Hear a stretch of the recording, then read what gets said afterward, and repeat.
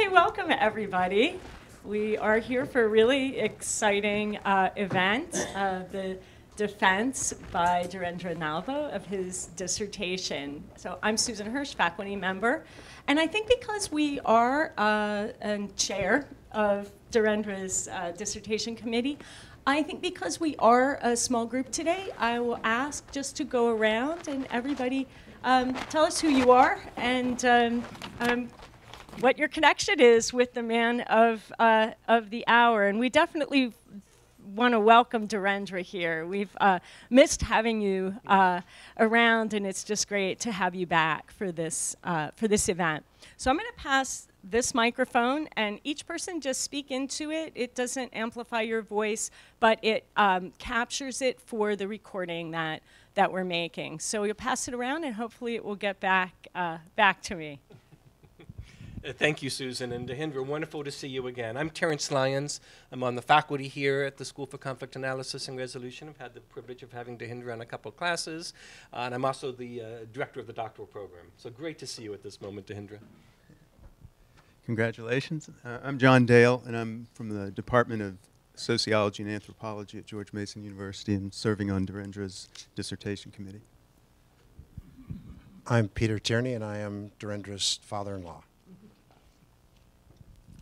My name is Jacob Rink. Um, I, uh, Dhirendra and I used to be colleagues at the International Crisis Group way back, and uh, we're close friends and old friends. I'm Crystal McDonald. And now it's up to you, who you are. Uh, I'm John McDonald, a mentor of Dhirendra's and a longtime member of this organization, and honored to be here tonight or today to, to honor Dhirendra. And Dhirendra was a wonderful worker with us at the Institute for Multi-Track Diplomacy. I'm Kevin Avruch. Congratulations, Dhirendra. I'm the Dean of S-CAR. Uh, Sarah Rose Jensen, PhD candidate here at S-CAR and friend.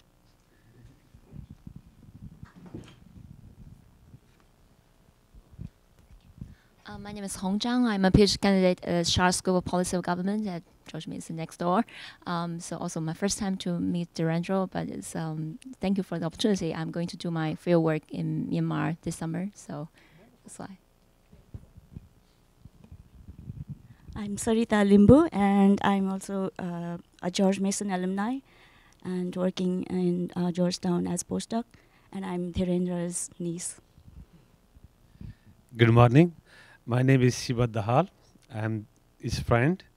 I graduated from here five years ago, so I'm glad to be back here, uh, the same room when I was here five years ago.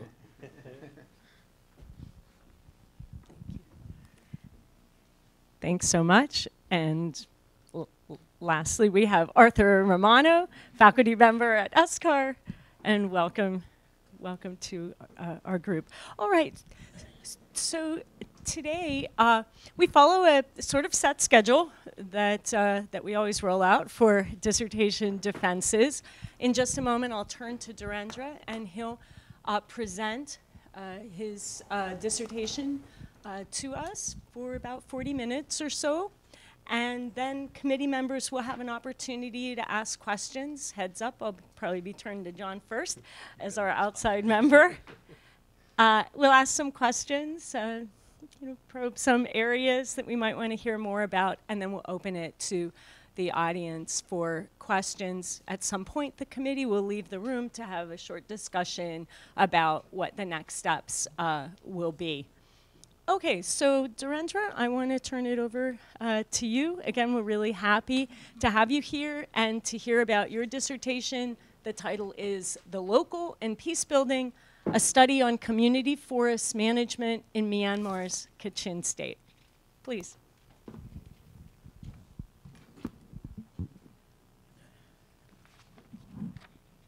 Thank you. Good morning. Good morning. I'm delighted to be here and uh, very excited to share with you about my research and its findings. Um, but before I begin, I wanted to make a few notes. Uh, first, I would like to express my deepest gratitude to the committee, especially the chair.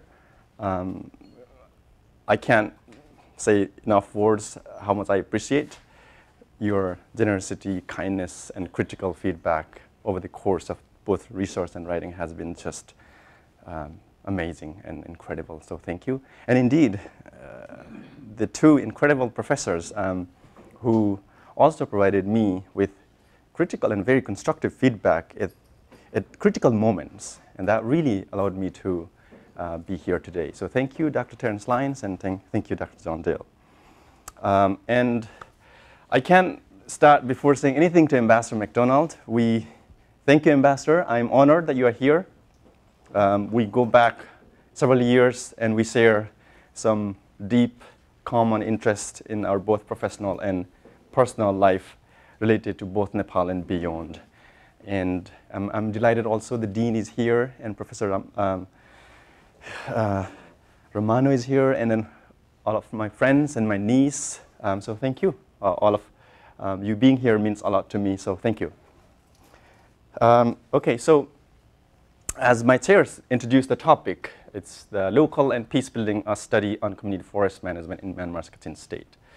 So before I begin the proper uh, discussion or presentation about this research, I wanted to briefly give you a overview of the structure of today's presentation. There are four components. First would be literature review and the central question that this dissertation asks, uh, followed by research methods, and the findings, which I have summarized as the unlikely peace and intransigent peace. And in, indeed, finally, the significance of this research, in which I will identify some of the key findings of this research.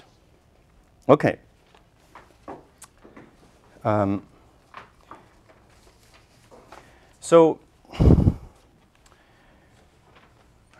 what is the literature that I am engaging?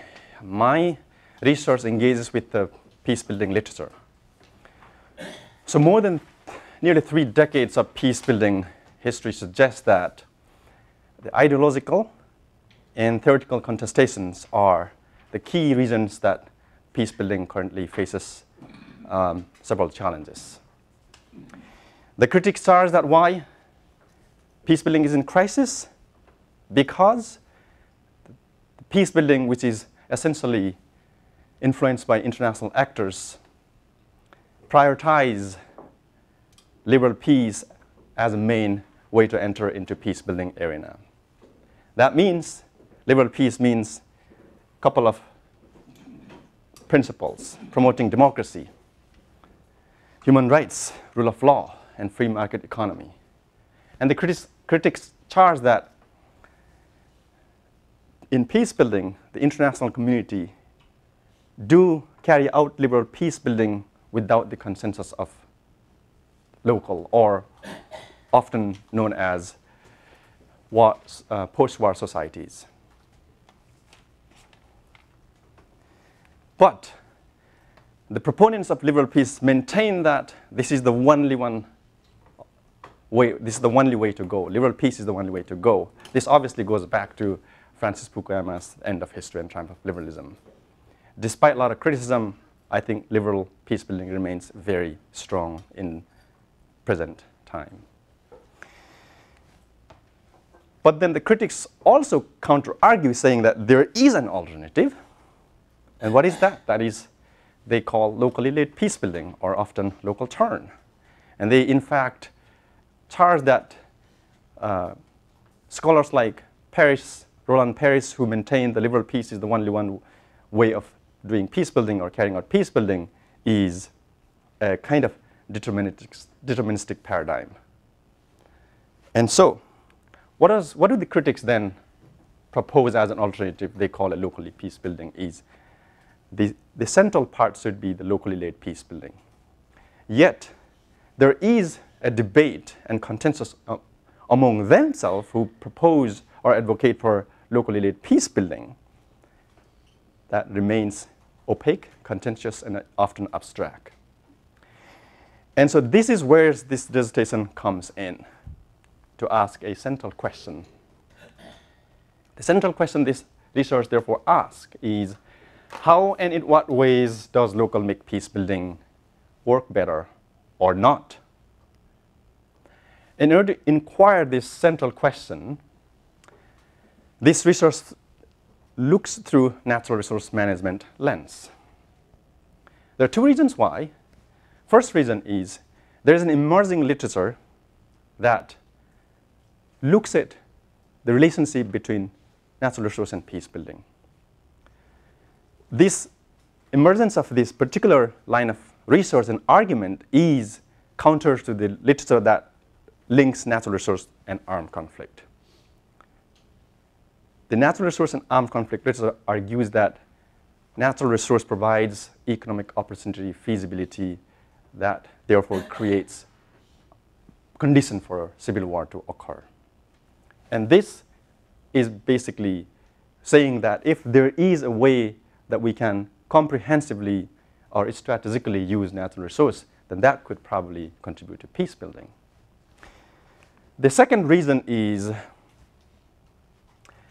to have a natural resource management lens, this research as finds out that it provides an opportunity or lens to look at the politics and process of local. How? Because when we think about natural resources, we often go back to think precious minerals, diamond, oil, jade. We often overlook the importance of basic parts of natural resources, which are obviously forest, land. Forest meaning I'm not, I'm, I'm not only indicating timber, but I'm also indicating forest resources, firewood, that resources that villagers use to build their homes, animal shelter, and those are their source of livelihood. So li linking from that perspective, it brings a, I, my argument is it allows us to look at meticulous way of politics and process of local. Now, I'm, with this question and lens, I'm, I went to Myanmar. And as you see, Myanmar is in between China and India, in the southeast, Thailand, Laos, and then the northwest, um, India. So it's a very strategically located country. Why? Also, the important part we need to also notice that is it is rich in natural resources, ruled by military over the last six decades. In 2011, made a transition towards democracy. Um, as you see, this slide is Jade, Myanmar's big state secret. Is by Global Witness, an NGO uh, based in London that carried out a research on jade. And it argued that in 2014, in one year, illegal trade was over $31 billion. So you can already see the depth and breadth of the impacts of natural resources there. So this is, this, this is Myanmar, and so it, it has eight divisions and eight, so seven divisions and seven states um, administratively divided. Um, so within Myanmar, then I, I go to, this resource goes into the Kachin state, uh, again located up in the north, borders with both China and India. Very rich in natural resources, um, as I indicated earlier. And this is an iconic picture. This is Irrawaddy, uh, mighty Irrawaddy River. And these are the Maikha and Malika River that makes Irrawaddy River. And this is where the, uh, one of the worst, uh, one of the most controversial Myitsone Dam is being built, and there are Chinese companies working up here. I was there, I went to visit it um, in 2014 and 15.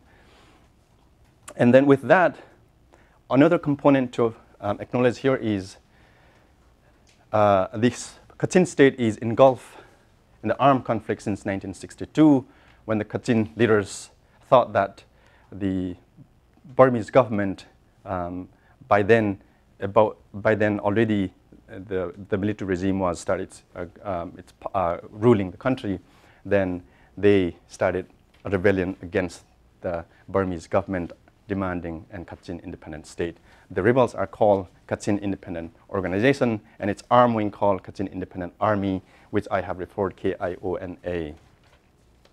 So as I said earlier, this is very rich. This state is rich in natural resources, famous for jade, timber, gold, amber, and hydro. And within that, of course, based on my research question and its, its objectives, it was impossible to look the entire aspect of natural resources. So I, I narrowed down to community forest.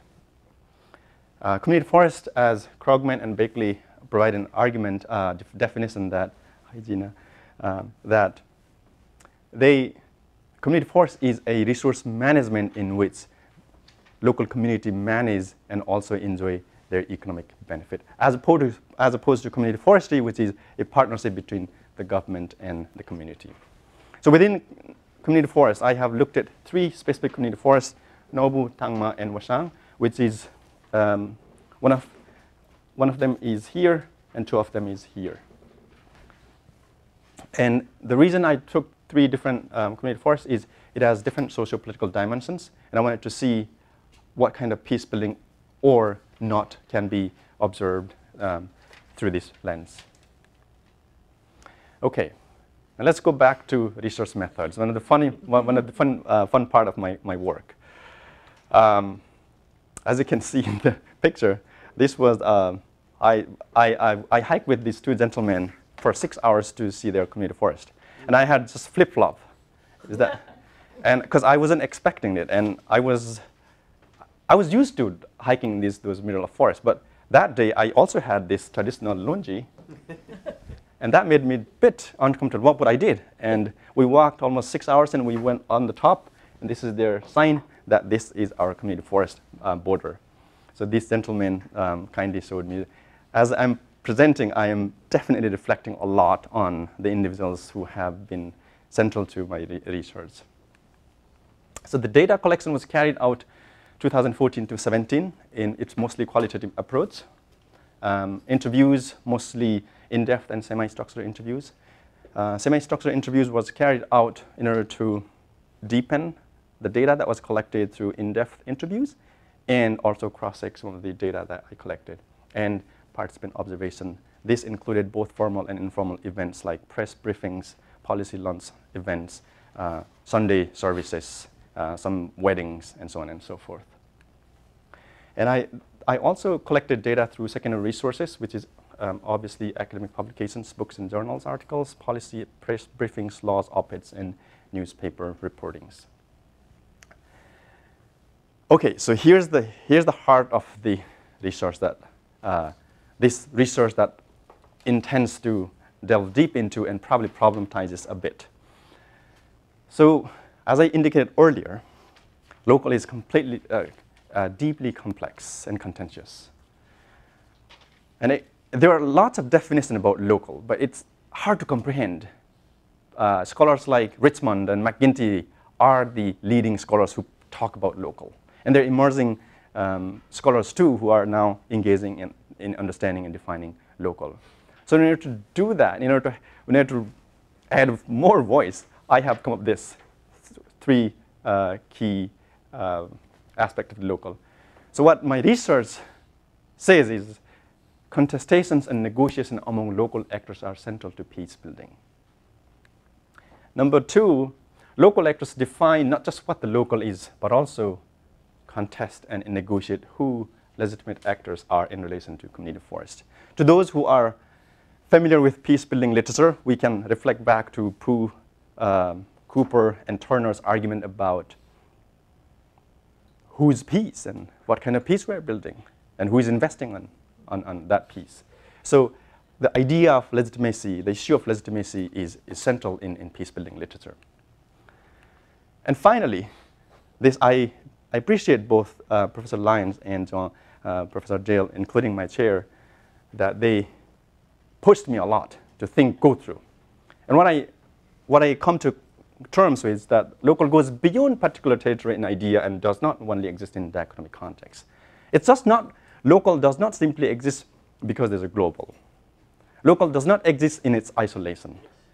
And as Professor Dale and um, Professor Lyons in their books argue that it is, there are formal and informal networks and institution ideas and notions through which they kind of link. So therefore, it, is, it doesn't exist in an isolation nor, nor because of its economic context. So it is indeed an idea, space, actors. That's why I come to with this mind map. Um, and so I have looked, I have sim simplified as a dynamics of local and peace building Um, I can probably confess at this moment, it is not as simple as it looks like, but at least, but at least we can look at this for this purpose of this dissertation.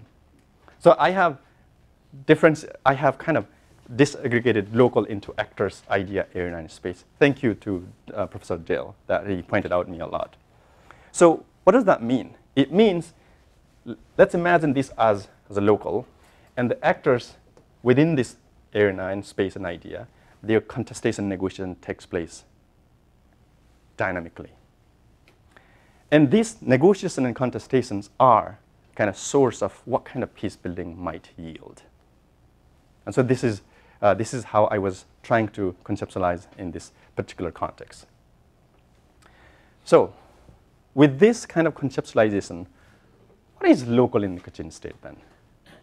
My research finds that local constitute geographical territory, that means both in, as Kachin state and as Myanmar as a uh, state, and the government of Myanmar and its interests. The rebel communities living in the Kachin state, their demands, interests, history, culture, knowledge, formal and informal institutions.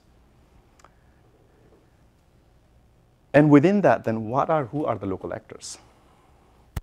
Includes the government of Myanmar, Tatmadaw. Tatmadaw is a Burmese word, which, is, which means armed, um, uh, the army basically, but the armed forces.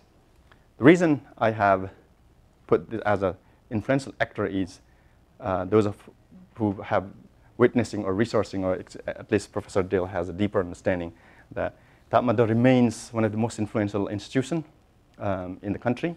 The 2008 constitution still gives them a lot of power, meaning they control three powerful ministries, defense, interior, and border affairs, including NSD, the National Defense um, Council, NDS, NDC. Um, and this is the parliament uh, they, in the parliament, they have 25% is allocated for the active military forces. So this is how they participate in parliamentary debates. And so there is an influence actor. And community forest users group, I have called CFOGs, villagers, different ethnic and religious groups, the rebels, uh, Kachin Independent Organization and Army, community-based organization, NGOs, and activists. All right. Since I talked a lot about community forests, I think we should go back to a little bit to discuss about historical genesis of community forest. And why is it important in this particular context?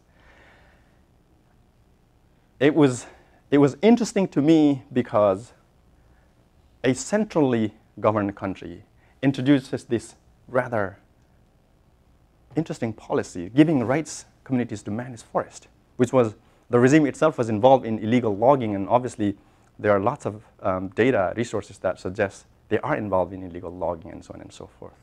But then they introduced, the, the military government introduced this policy. And that makes quite interesting. And indeed, the communities were puzzled as they, and many of them thought, what, this is, yeah, this, this, this doesn't seem right. But then another interesting um, incident that I, I see is it coincides with the global environment movement. And if we look back in 1972 was the first global environment conference held in Stockholm, leading to 1990s then became the height of global environment and continues to be going strong. And that particular introduction is somehow coincides with this movement. Um, and the junta apparently was also looking for a space to be part of global community. While it is its own decision and on doing that we want to be insular and not want to be uh, part of international community, but at the same time, there, there are indications that in which they wanted to be part of global community through other ways. And so that was part of like introducing this policy is to say that, look, we are with you. We want to also preserve natural resource uh, uh, environment. And then, of course, the interesting issue to recognize here also, while the government introduced policies related to community forest instruction, after it introduced 1993 forest law, then he introduced community forestry instruction policy in 1995, yet it remains very lackadaisical in terms of implementing in, in action. So the villagers, puzzled villagers then see the moment an opportunity to establish community forest because, especially in the Kachin state, in where um, ethnic Kachins feel that natural resources theirs. We own natural. We this we have been dispossessed. We our natural resource has been taken away by Tatmadaw, as they, as they say. And so for them, it is a way to retain their ownership of natural resources. And so the, therefore there comes the establishment of community forest and its dynamics. Now let's go to the next um, slide then. What, what did it do? My research findings suggest that community forest actually led to an unlikely peace. And I said, what is unlikely peace then? As I already indicated, the complexity of actors are immense. But under this particular issue, there are engagement between local actors, government, uh, and uh, state and non-state actors. So what is unlikely peace and how has it been? How has it been built? So the unlikely peace in the sense that in, in, in a rather very complex and delicate political condition, the establishment community forest has brought these unlikely actors together. And so what I said is once obstinate foes engaged in dialogue instead of continuing opposing or resisting. Instead of keep separating, they are kind of coming to interact, particularly forest department, which is um, responsible to oversee community forest.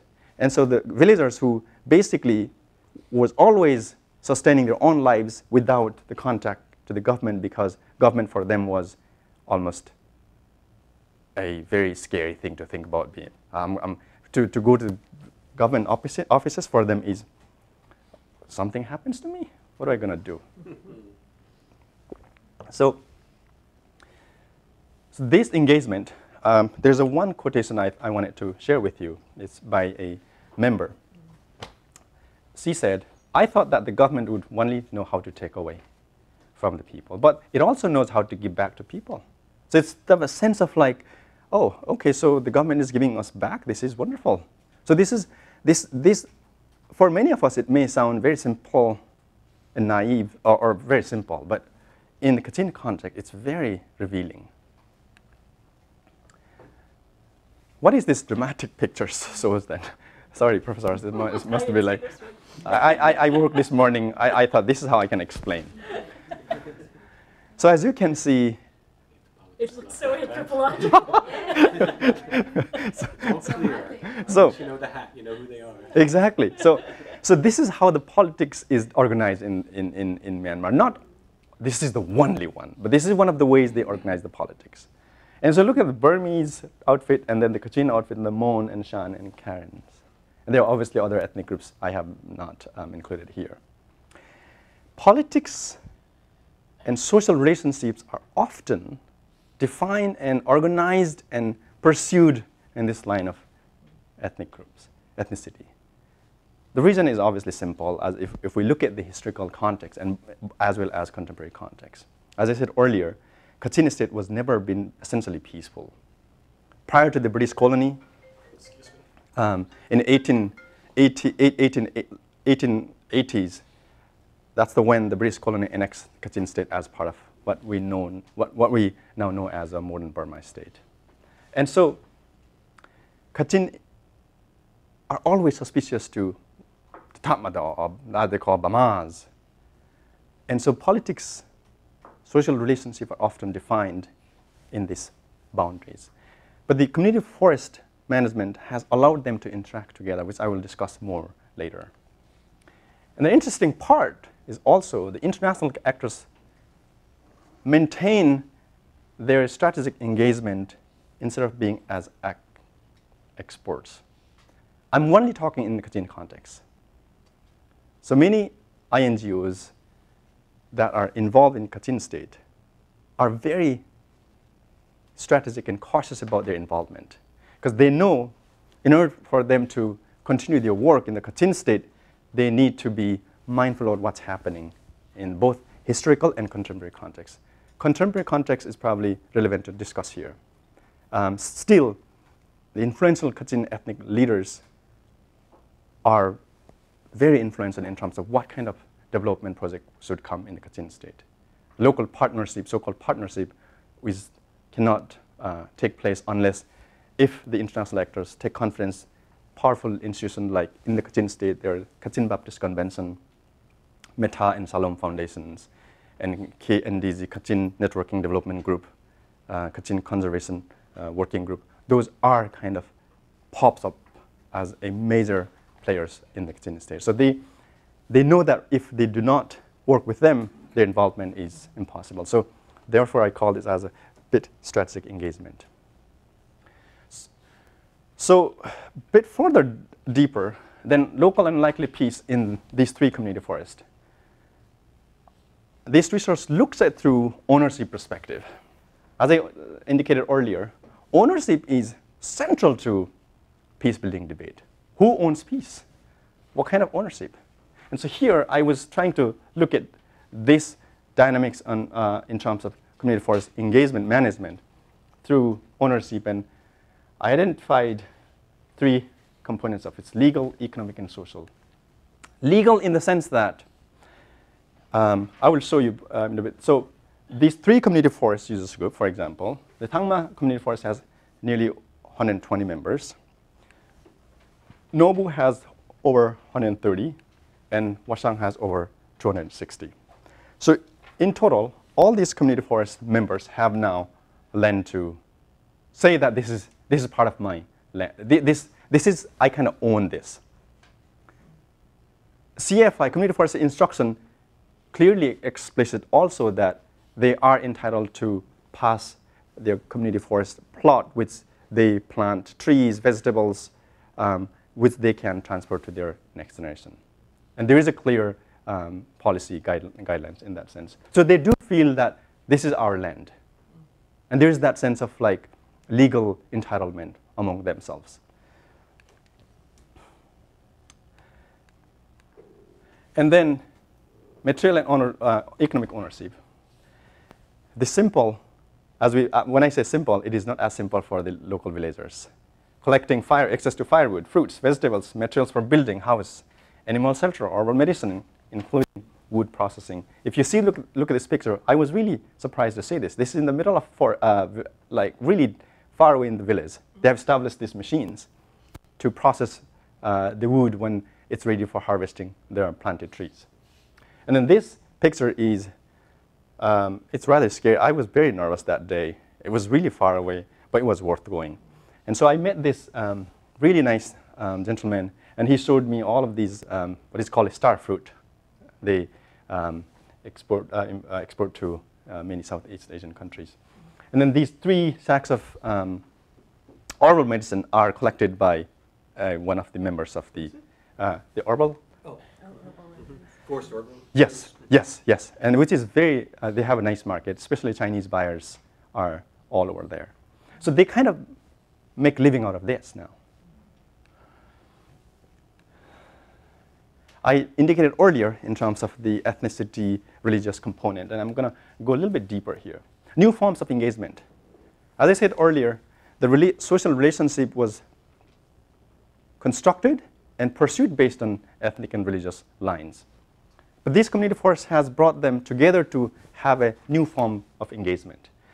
If we look at this, sorry, this is long, but I thought it was worth quoting here. So before the community forest was established, Shans and Kachins would not wouldn't see each other.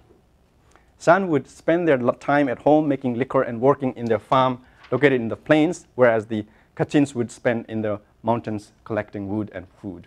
By the time Kachins come home, Shans would go to sleep. And when Kachins get up and go to the mountain, Shans would have had already started their daily chores. But community forests brought both ethnic groups together to work for a common purpose.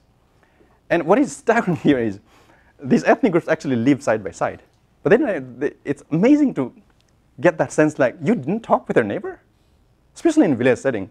Sorry, I'm a villager guy. I know each and every household in my village.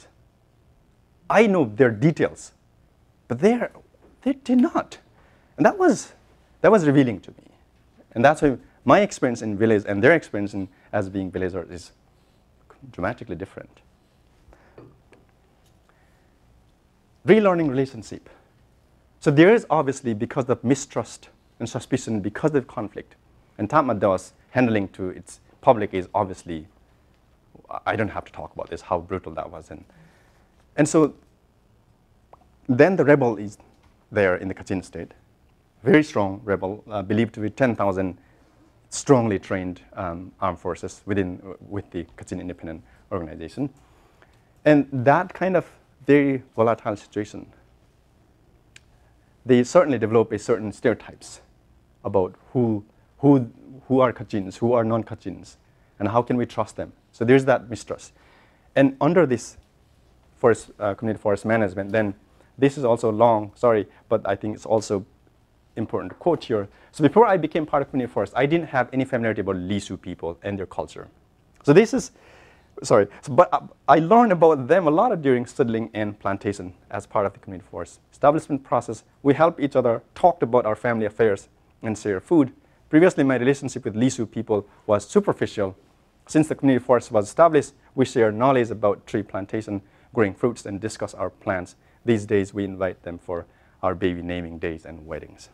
Again, this context was basically the person who shared this to me, his house is probably 10 feet away from uh, Jingpo, which is one of the sub-ethnic Kachin group, and Lisu is another, um, another, another ethnic group, which is also often considered as a Kachin, but Lisu these days themselves define themselves as a separate than the Kachin, Kachin ethnic groups. So, so 10 feet away, they don't talk. It's, it's amazing to see that. And now they, they, they, they share these incredible stories. And I thought that was very powerful in terms of the uh, connecting or relearning themselves on, on who they feel and how they now understand each other. Now, the important, another important aspect this research finds is international actors rally behind the local nurturing new ways of engagement and helping redefine relationship between state and non-state actors. What the quote I just read out is essentially the international actors kind of rally behind that, as opposed to we are expert, no, no, no, don't, do that. Why don't you do this way? I rarely saw that in the Kachin state, particularly in terms of community forest management. Then this is a quote by a local NGO uh, official who is as deeply in part of the international uh, community. And so he said, we hired retired officials from the forest department and assigned them to deal with the government office because they know how to work with government office. So when the local, when the NGOs do that, international actors, that's fantastic. You do go ahead and do it. Because uh, we don't know, we don't have access to the government, so you, you can do it this way. Go, go for it, go, go ahead and do it as opposed to, no, no, no, no, maybe this is not the right approach, um, as often the critics uh, point out in terms of how international actors behave. And as act as a catalyzing force rather than export again uh, the same way. And maintain strategic engagement considering the fragile political landscape of the Kachin state. As I discussed earlier, they know that they cannot antagonize those local NGOs or CBOs. So they have to work with them together. If they do that, they cannot. Okay, I want to, this is a rather intense presentation, I feel. So I want to a little pause here. So it's all about unlikely peace. Now, not, not every, every picture is rosy here, as Professor Lyons pointed out oftentimes in his comments. And I agree with, with, with that. And so going deeper into the data and its analysis, I have come to the terms that when the social and political condition provides space for the local actors, they are likely to exploit local peace building, leading to intransigent peace. And I call it intransigent peace because it, this kind of peace often comes as there's a peace. But if you dig deep, the structural condition that were pr probably drivers of conflict kind of remain same. Actors may have shifted, but the source remained, uh, the, the, the type of violence kind of continued to exist.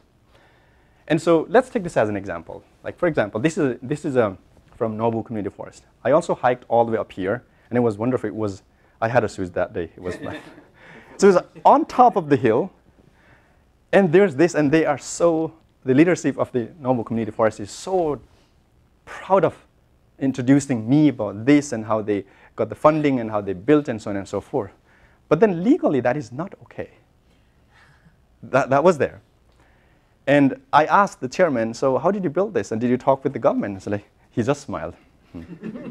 I might get a letter That's what he's different. I, I might get a letter from, from the government. And then this idea of establishing this in the top of community forest, which is supposedly um, should be collective decision by the members, but members are not really part of this. Not, not only just deciding to build this, but also the building process. And then, and therefore, I think it's with this. I'm I'm going to show you this um, this uh, graph. So, if you look at this, this membership around 130. Jingpo ethnic groups are 103. And then you look at this religious component, 101. And then Shan is just two. That village is basically, majority of them are Shan ethnic groups. There's just two. And that certainly raises the question, how did you build this then? So there's this clear linkage: linkages there, idea of establishing dominance of Jingpo ethnic groups um, in this management system. Um, then, then let's go back here, and then there, therefore I said, in Nobu community forests, legal and social political conditions provide space for the local actors to pursue hyper-ethno-nationalistic forest management approach, as opposed to this is a collective property. We should be managing collectively. But this is, this is, this is we can control this, we can build this. And this, this type of um, very ethno-nationalistic, hyper-ethno-nationalistic approach. Then with the Tangma community forest, um, sorry, I may have to go back to, but um, it also, it is okay, it is compared to Nobu community forest. So again, Lisu is highest ethnic groups, but then, especially this is remarkable. The Assembly of God and Church of Christ. You, you know, the, the, Myanmar is deeply, deeply religious society. And so these religious um, parts, uh, the, the groups who belong to two different religions are worth noting here. Now, how this Tangma community forest then has a bit of challenges in terms of um, locally-led peace building is they suffer access to resources compared to Nobu community forest. Nobu, Nobu community forest leadership has, because they are Jingpos, Kachin Jingpos, they have access to uh, powerful and very organized NGOs like Kachin Baptist Conventions. Nobu Community Forest, who has access to resources through their entrenched network, the religious network, and their community network. Tangma Community Forests, who are dominated by Lisu, and religiously they are related to Assembly of God and Church of Christ. Assembly of God and Church of Christ is interesting. They also arrived in the country in the early 1930s, whereas Baptist obviously arrived in 1840, 1830s or so. So their network, Assembly of God, is very dismal compared to Kachin Baptist Convention. So they are not as organized and well-funded. Um, the Assembly of God and Church of Christ are not religiously that um, sophisticated, both in terms of network and also uh, finances compared to Kachin Baptist Convention. So, the, so Tangma Community Forest suffers that kind of social networks to have access to resources. And that's one of the challenges. And in, in all three community forests, gender dimension, particularly female participation, is heartbreaking in many ways. If you look at this picture, women in Myanmar are very active. They, are, they participate in a lot of programs. They are very, very active. And this is organized by the UNDP in the program called Social Cohesion, and I observed them a number of times. And they, they participate actively. The engagement is amazing. Yet, the community forest management fails to include gen, uh, women members. But then, obviously, Wasang Community Forestry has a different story to tell. Um, we may have to go back to the, uh, to the, uh, the graph. So if you look at around 230, nearly 40, Lisu are highest, and this is majority, uh, this village is dominated by majority Lisus. And then, but then Lavaos are 60, these are also uh, Kachin sub-ethnic groups, and Lachidi is also. and then religiously baptism. Yet, this membership demography is, compared to both Nobu and Tangma, is very inspiring in many ways. The reason why Wasang was able to do this have about three reasons. Um, when the establishment, the history of the establishment of these com- three community forests is interesting. So Nobu Community Forest was established in 2014, and Wasang Community Forest was established in 2007. During the establishment in Wasang Community Forest, the leadership basically discussed the idea of establishing community forest across the village, in visiting each household to inviting them to, um, we are holding this discussion to establish community forest. Contrary to this approach, Nobu Community Forest only discuss within their church. On the Sunday, uh, they, call uh, Kachin Baptist um, Convention, they, ha- they hold Sunday service every uh, Sunday service. And they discuss in that in terms of how to um, establish community forest there. And there, therefore, when I talk with Shans who were not part of the community forest, they say, well, I didn't hear about it. Or I'm not really interested, to those who have means to um, live their life. But to those who kind of want to be, they were not aware of that. And so this kind of, w- the, establish, the ways in which the Wasang Community Forest has been established tells a different story from that perspective. And also, it also followed community forest instruction policy in which it encourages, or in fact tells villagers to have a, a inclusive membership. And then leadership is important here to mention, although uh, Professor Lyons um, has really interesting um, point to make. But the leadership was impressive in the sense that this is our forest. If we do not manage now, again, the Chinese company will take away. So we'll have to manage this. So there's that kind of like you versus me. If we protect this, we can stand up against the big corporation that Chinese are coming and trying to establish a banana plantation and so on and so forth. All right, so finally, these are, whoa. So, so, so, so the- these, these are the key findings that this, uh, this decision makes an argument. First, contestation and negotiation among local actors is central to peace building. Local is not self-organized and harmonious and does not necessarily help build peace.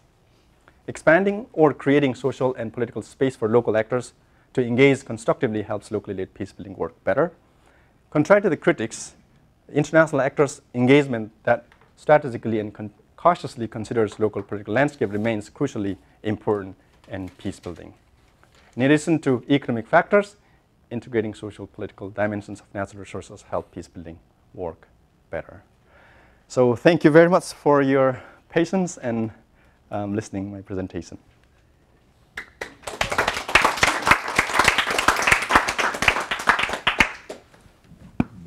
Thank you so much, Dhirendra. That was a really rich and uh, well organized presentation. And I think the, the photos are sort of especially nice for us to see that because they bring us right into your, your research, which was, I think, such a, a central part of this whole project was that time that you were able to spend.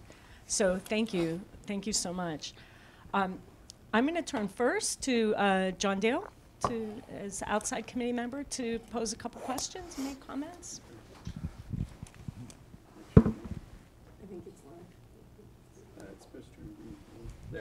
Is that good? Yep, yep. Okay, great. Thank you. Um, I've, I'm going to start with your central concept uh, of the local. Uh, so, on your sixth slide, or the, where your slide on, I guess our page six, what is uh, local in the Kachin state? The bottom slide. If we might be able to put up.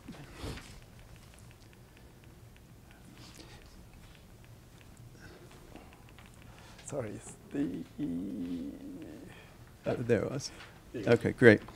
So uh, the the local actors include uh, the government of Myanmar, uh, the military, the Tatmadaw, uh, communi- local community organizations, um, the villagers of different ethnic and religious groups, including uh, CBOs NGOs and activists, and the KIO and KIA. So that's a lot of that's a lot of local uh, going on there. And as you've described in, in other slides, um, the different ethnic and religious groups are uh, in in some ways talking about each other as as though they're different nationalities. Um, so uh, the one thing that seems to hold them together, as you say, is the community forest, and it's a kind of institution that they've been creating uh, over time. You refer to as a space. It's also a discursive space where they've been able to negotiate and contest each other's practices, but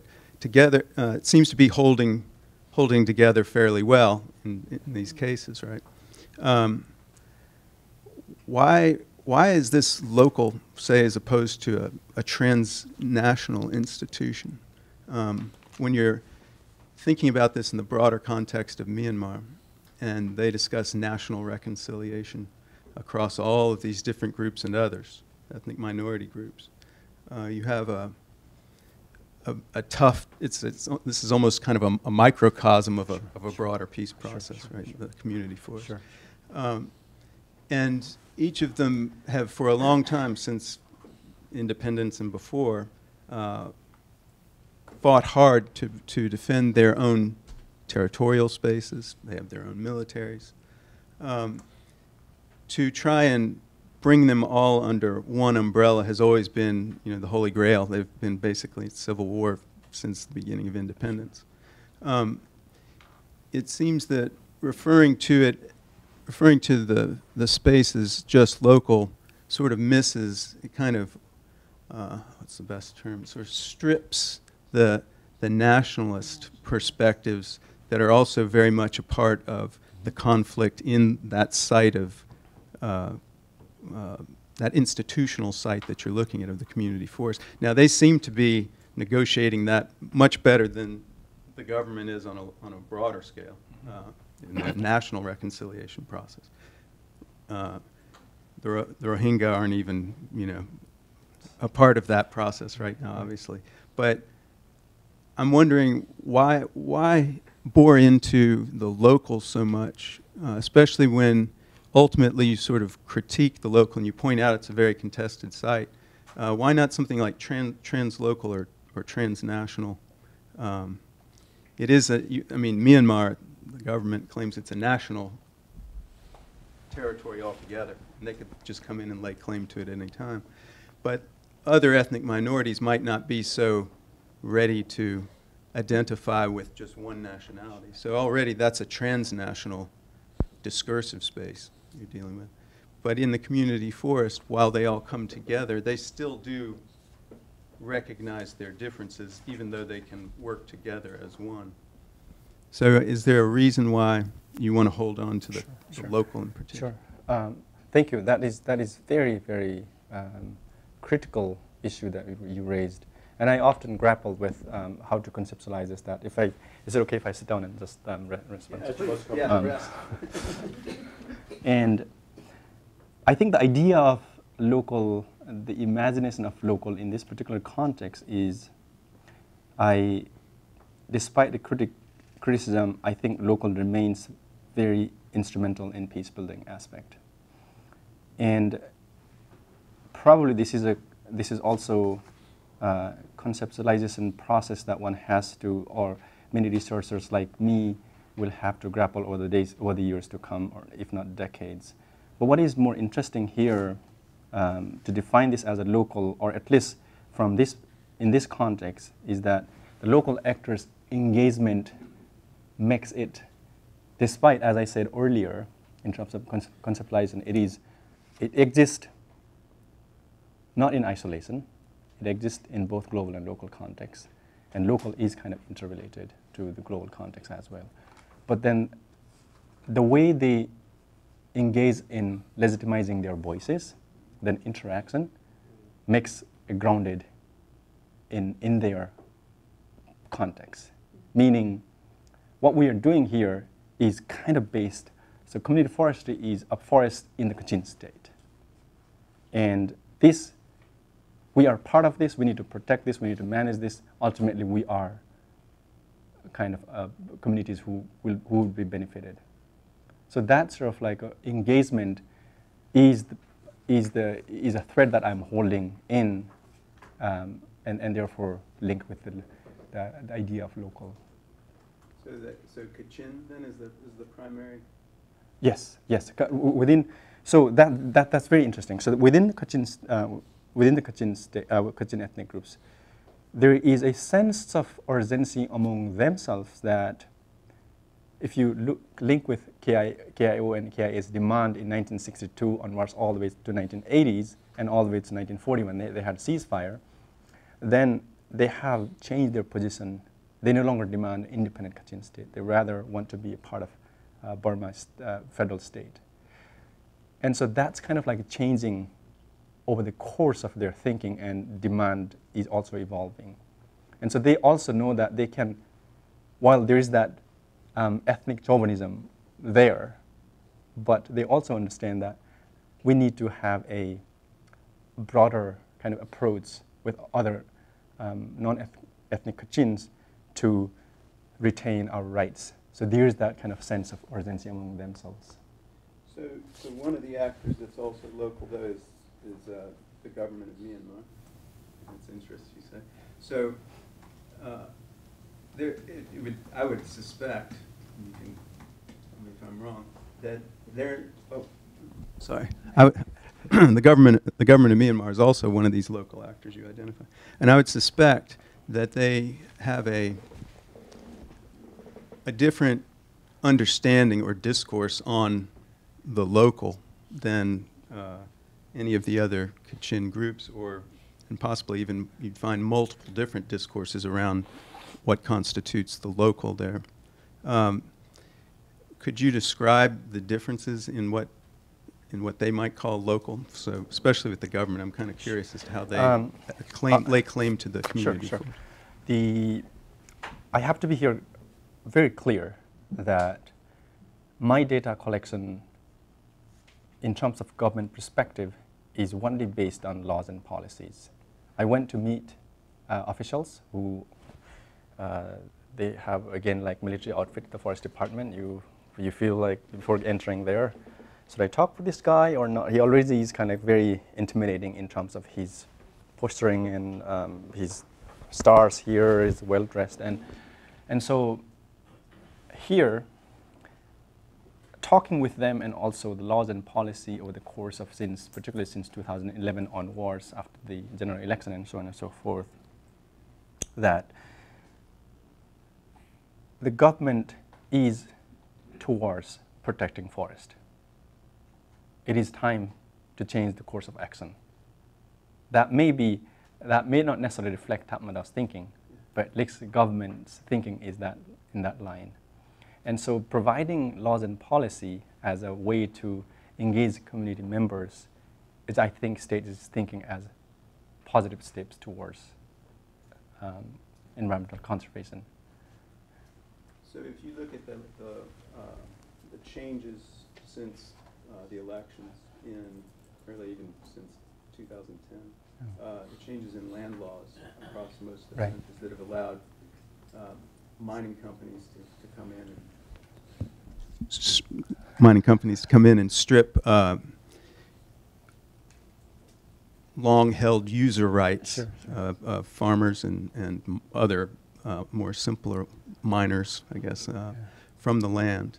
Uh, do you think that, is it your sense that the government sees these community forests, these, these resources and this kind of institution that they've created uh, as an exception in some way that where they would create a kind of uh, a special ex- legal exception uh, for these collective rights to use the community forests in a way that um, their other land laws certainly have not. Sure, sure. And, and why? it seems like a success story if that's, that's true. But that's that, that's a that's a very uh, good point, and I think especially after the 2011 onwards, uh, because of the political situation rapidly changing, in some aspect, but in other aspect remains unchanged from Tatmadaw's perspective, right? But then, um, as one of the um, NGO workers told me that since Aung San Suu Kyi came into power, that we have been able to see Forest Department officials who are much more friendly to us. We can work together. They can understand. They are willing to listen to us, as opposed to um, previously it was not the case. So I think there's that, and um, it probably is a bit tricky to say that this is an exception. However, it is an exception in the sense that while uh, those land which are now since 2014 land law update, um, government is massively promoting agro business in a in an industrial level, and some of the community forests, particularly um, Wasang and Nobu, these are the forests up in the hills. They can't plant bananas up there, or um, at least that's one aspect. That land is important for the local communities, and the government wants them to protect it. And engaging community members to protect the forest is a way to go. That's, I think, sense that the state uh, feels. Um, and then the increasing protest by the local um, communities is increasing. And so it, the state is also mindful of that. So having this community force as a uh, way to engage uh, the villagers is probably, it thinks, as a positive step and, and probably continue to, continues to do so until, the, of course, the state is powerful. So. I'll, I'll hold my other. Thanks, John. Will share John's. Uh, congratulations again. Uh, one kind of larger point relating to the other uh, doctoral students who are watching. One of the things that was very so impressive to me as the course of your dissertation development is how you went from a solid first draft to responding to comments to write a really excellent final draft or whatever we're at, whatever the, the, the defense draft. And uh, you are to be commended for that and that we built in enough time for you to do that. I think this, this draft that you have now is really improved in many ways and important ways than the first draft. And so that's an important part of the dissertation process. And that's mostly for the rest of you. You already know this. Um, the other thing that I really like about this, uh, and then I'll ask you a mean question, um, but is that I was the sort of what, what, I would call sort of the first generation of the turn of the local had a tendency to romanticize the local. The local was where peace building lived and where villagers knew their interest and knew what to do, and it was also very very vague. Now I have a little concern of, of, of John's concern that you do list the local has now become everything. So rather than being too vague, it's now too broad. I pushed you to say more on the transnational, so I'm partly responsible for that. But what I really like about what you've done with the local is how you, you, you center it around contestation and negotiations. The local is the site of the conflict. It's not, uh, it's not, not uh, you know, sealed away from the conflict or outside of the conflict. So in that way, I think this dissertation makes a real contribution to problematizing, critiquing the critique uh, that was the, uh, the turn to the local.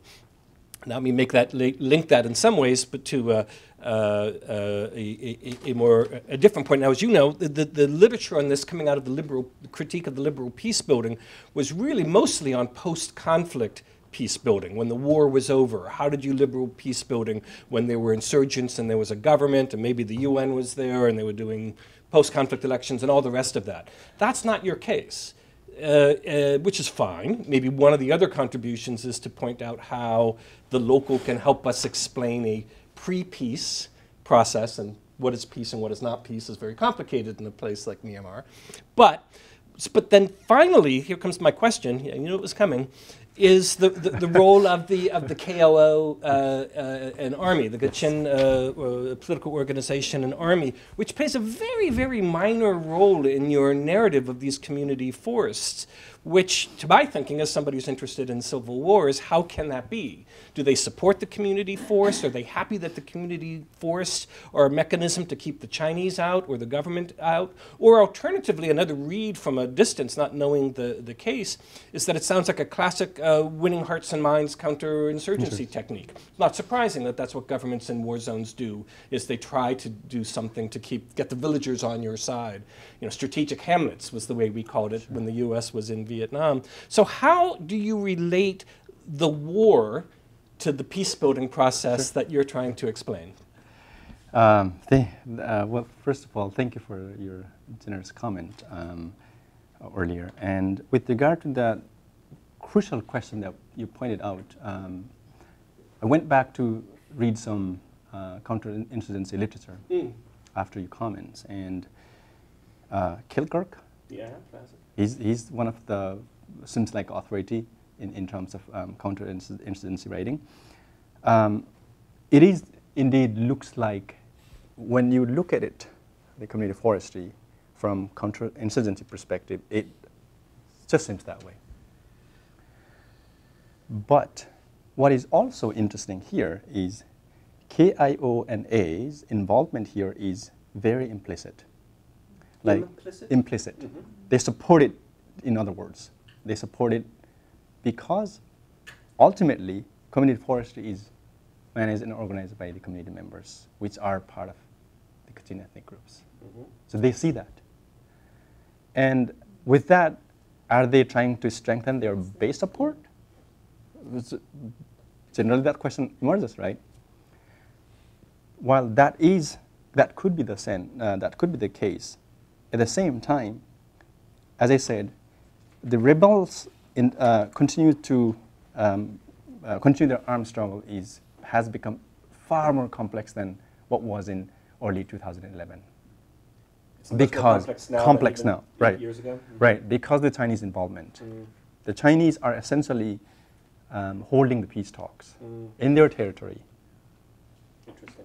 and so the KIO has become almost in between the Chinese involvement in Burma and Burmese government. So they are, so the, the conflict has become completely, uh, uh, probably out, of- out of getting control from the Burmese government. Can, can I ask, Sure, just, just to probe on that point? point, and so is it the fact that both the Burmese government and the KIO both simultaneously support the community forests? Yes. Because both see these forests as advancing their contradictory interests of keeping the Chinese out, perhaps. They have a super, you know, they, they both agree on that.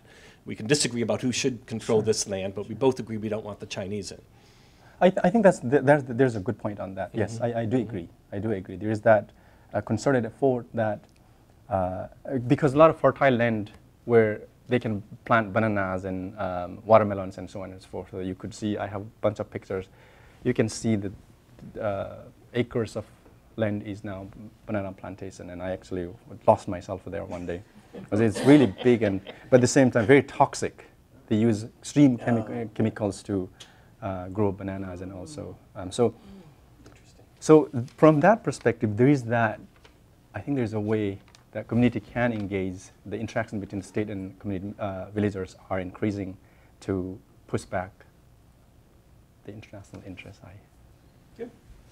Thank you. thank you.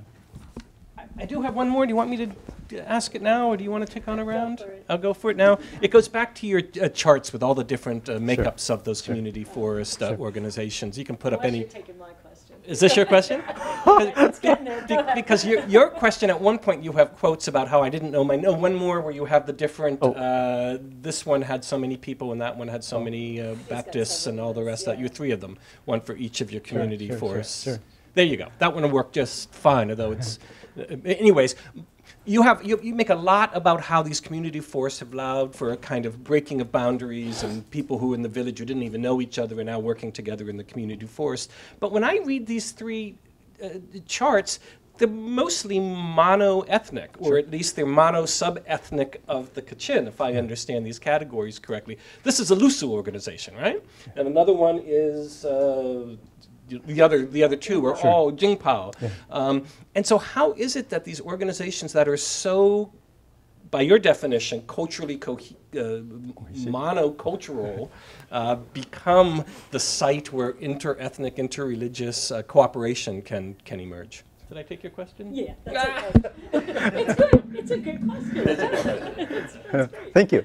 So, as, as the quote said, it, while it seems like mono-ethnic domination, in the Kachin context, if, if we, when we link with both historical and contemporary context, this is really impressive.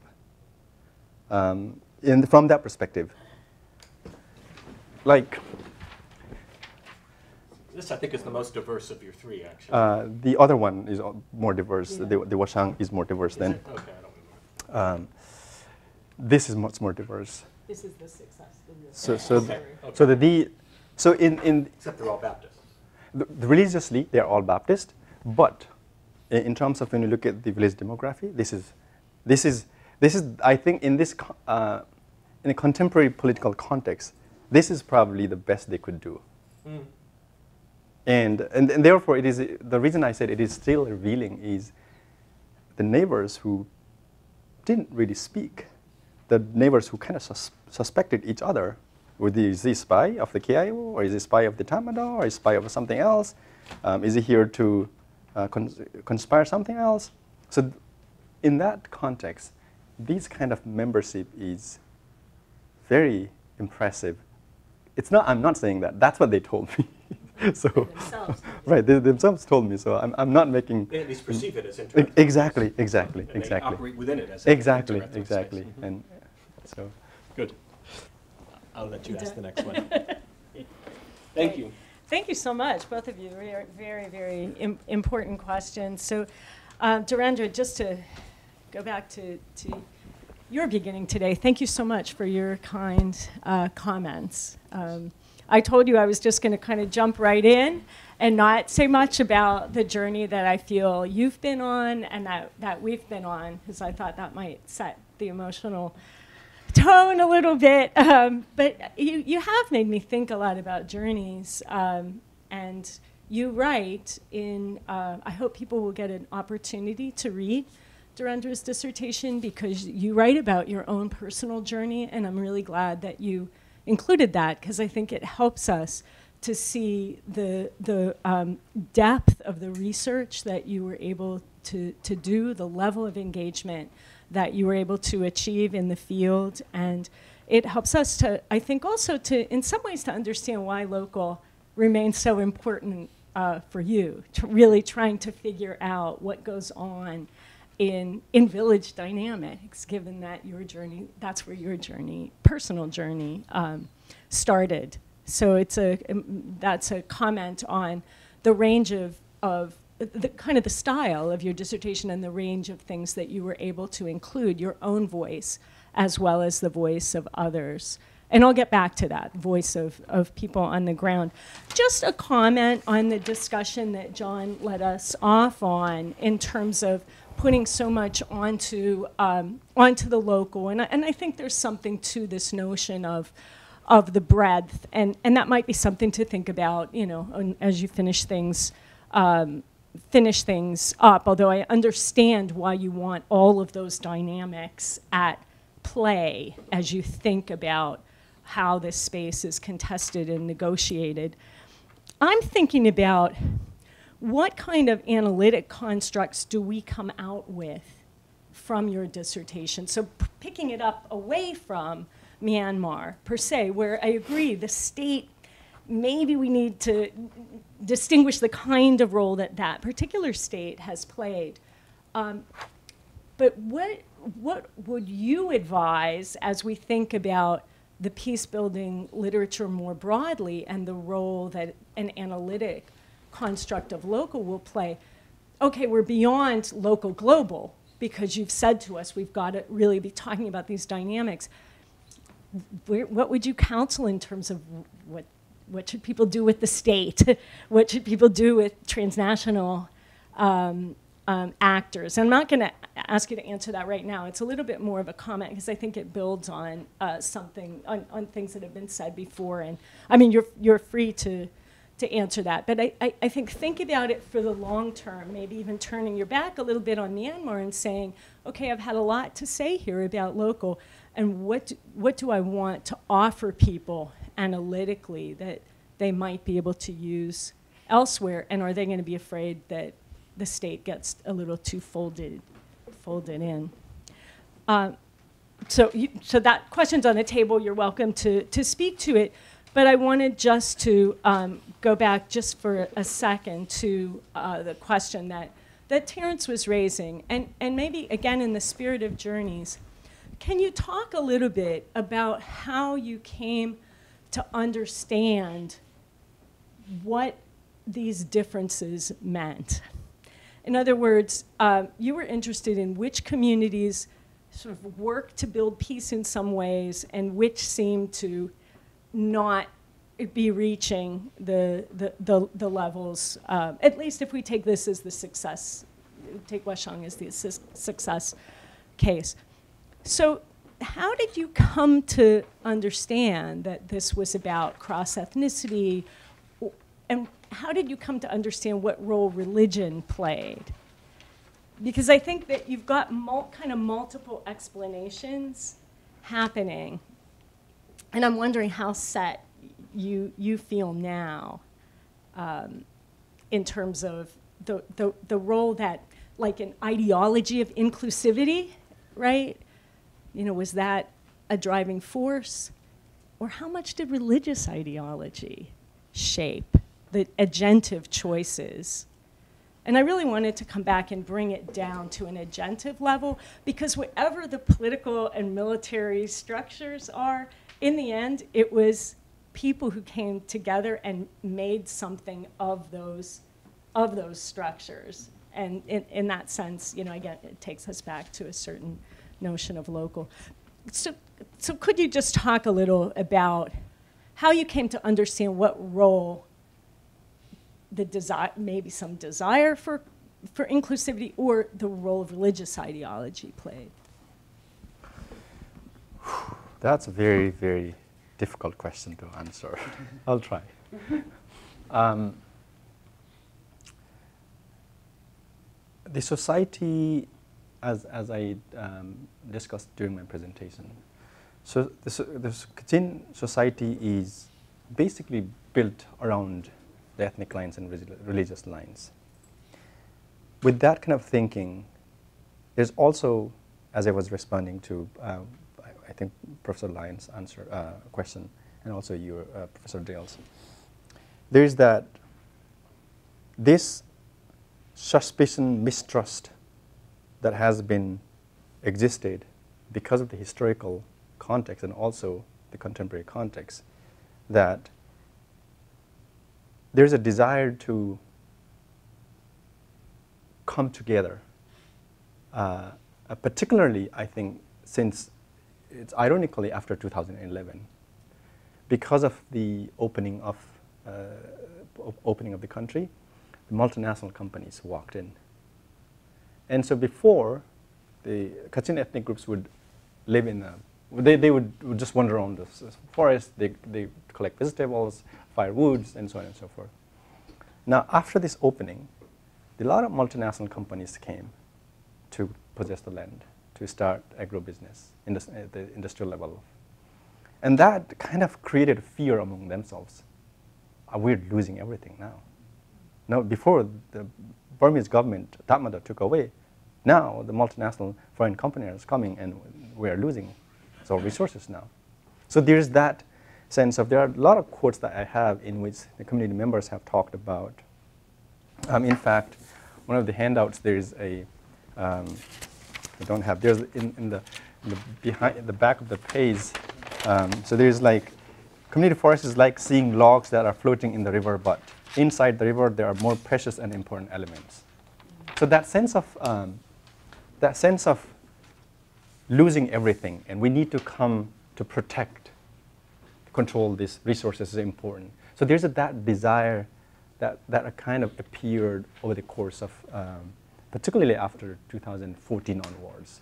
Because when you look at the FDI and also the multinational companies investing in Myanmar, especially thousands and thousands of acres are taken away without even notifying the villagers who who thought that was their land, but then it turns out that's not theirs because they can't produce uh, legal documents that the government requires. And so without knowing, they have become landless. And there are lots of um, instances.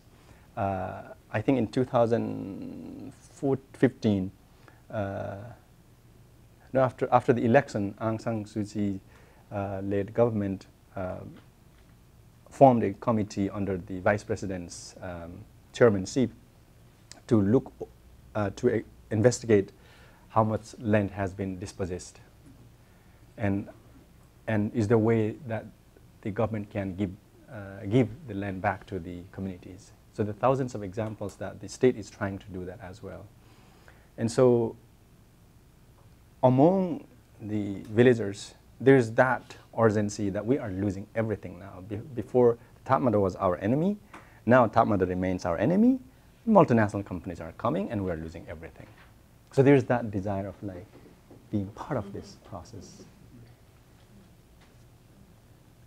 May I ask a, a follow-up on that? In the bigger picture, as you're moving forward in your, oops, in the bigger picture, as you're moving forward in your research, um, yeah, I keep wanting, you, have got us focused on uh, Kachin State. Do you happen to know, or have you seen any reports on how many community forests they estimate exist with, within Myanmar, uh, for one? Cause, and, and as you're thinking about that, if, as you're proposing the possibility of the state maybe reclaiming more land sure. or giving back more, it seems like you'd be well situated to right on top of that process and, and have you know a basis, a case study for more comparative work throughout sure. Myanmar? Sure, that's a very good question. And and so when I went to Kachin State in 2014, they had nine community forests in the entire Kachin State. And then in 2017, there were 60 of them. I then I wanted to get a national data on that. And it, I just didn't get it. I, the, they didn't give me. Uh, and the NGOs, uh, the governments would have data. And to, to get data from government is, uh, still remains very difficult. So in a national scale, I would imagine at least around 500 by now. But um, in the Kachin state also, from 2014 to 17, from 9 to all the way 60 and that was very uh, impressive. It's on the rise. On the rise. It's, it's this will be across the, across the state. So yes, yes. That, that's sort of what was making me wonder if it might be part of a, a strategy as, as part of a broader national reconciliation process, and these could be one element of that, right? These I, creating these institutions. Yeah, Professor Dale, I think that could be another big uh, resource that one can, or probably I might be interested to look at that, or anybody who is doing research in Myanmar. That's a really interesting aspect. I think we'll open up for some questions from, uh, from the audience. We'll maybe have 10 to 15 minutes of questions. Or shorter. um, thank you. Um, um, congratulations on this wonderful research, and I really learned a lot. Um, I, I would like to ask something a little bit follow up on um, Professor Dale's question. What's the role of the Myanmar state in this? Because uh, if I understand it correctly, this community forest was created or initiated by the state um, top down so that um, the local communities could have um, ownership in these forests so that they can protect and also keep the Chinese away. Um, so but from what from your presentation, I, I get that um, yeah, just you, you, focus on the contestation of the local, but I just keep wondering what uh, what role does the state uh, play in this process, especially how is the how are memberships uh, allocated? Like you talk about diverse di membership, how are how is interest uh, distributed in this process? Uh, who would have have the, the authority if any conflicts arise. And again, where's, where's the state in, in this process? Thank okay. you. Thank you. Thank you. Can we maybe take one more question? Anybody's got? Here, so. Thank you. Um, I really enjoyed the presentation. Um, and I'll kind of, in a way, maybe provide a, a, question that is on the opposite end of the spectrum in terms of international uh, and taking up this, this thought about national reconciliation processes. So, in, what uh, do you see in terms of processes being modeled uh, in the forest management that uh, are allowing for some of these elements uh, to of peace building to to take place in a way? Uh, And do you think that those could be done in other places? In a way, you've described a situation in which there's sort of like minimum enabling constraints on the space. And that may be a part of, you know, part of me wondered if, uh, if that happened because the government was not looking in a way, or, you know, just sort of like, it would be nice if you managed this. Or it'd be nice if it was available for us to do something with it later that we want. And then these communities, due to these other pressures, moved into the space more swiftly and kind of, in some ways, occupied that land and developed processes out of a necessity, right? So there's then a- an opportunity to kind of, through your role, uh, you know, with, you know, transnational relationships and, and having done this research, to potentially lift up that work they've done, to legitimize it in other areas, because we're at a different part of the process where, especially if they're increasing, probably people are paying more attention.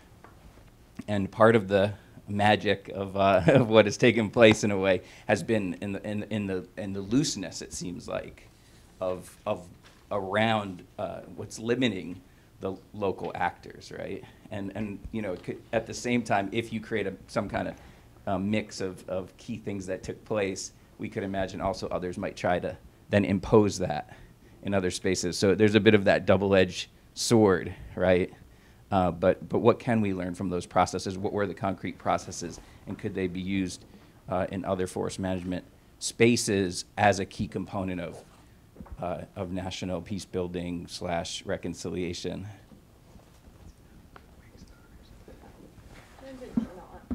Answer, please. Sure. Thank you. Um, with your, um, with regard to your question, I think one of the contestation in peace building literature is that who advocate, the scholars who advocate for locally led peace building is that they often overlook the state's role. And then state is a fundamental actor and we cannot deny that. And so that's, I think that's, is, we need to imagine um, when we think about locally led peace building from that perspective. Um, and while the state enacted the community forest instruction policy, laying a legal uh, base for community members to establish community forest, the state didn't actually implement it into practice. It simply enacted. The community members and activists seized that opportunity to, uh, to establish forests because they thought this is a good way to have ownership of their natural resources. And your question is um, complicated, uh, difficult, uh, sensitive. Um, I, I, I, probably have to be um, cautious about what I say, but um, these, uh, the KIO and A uh, and the ULFA's cross bordering are, I think, we all know. And the Indian government's involvement, we all know. So I, I, I, I don't want to go beyond that. Um, and Professor Romano's um, question is, um, there is, what can we, the, the processes that enable them to be part of this community forestry is, I think, important and probably um, can be, I'm not going to say it's not replicated, but the, the, the, ways in which the community members have participated can be imagined in other places as well. Um, what ways uh, is, as, um, as I was responding uh, Professor Hirsch's question, that the, the desire to be part of this process was important for them. And the legal provisions that allowed them to, who were dispossessed, who were basically deemed as landless, now have the opportunity to be part of this uh, establishing community forest. And that allowed them to imagine themselves as what they thought was the, the ultimate owner of the resources, allowed them to really um, delve into and seize that opportunity. And so the sense of participation, I think, in that sense is extremely important. Um, I think that's where the question of ownership comes a lot, in, in particularly in peace building um, literature. So who owns the peace and how you uh, reconcile from peace building perspective um, in a as divisive as country like Myanmar. So the idea of being part and both legally and otherwise was basically for them a way to be part of this uh, establishing community forest. Okay. I think that um, maybe the committee will step out for a few minutes, so you're welcome to continue to have a conversation. You can take a breath if you want to. Thank you. If you would like, and let's. thank- Congratulations. Nice job. Thank We you.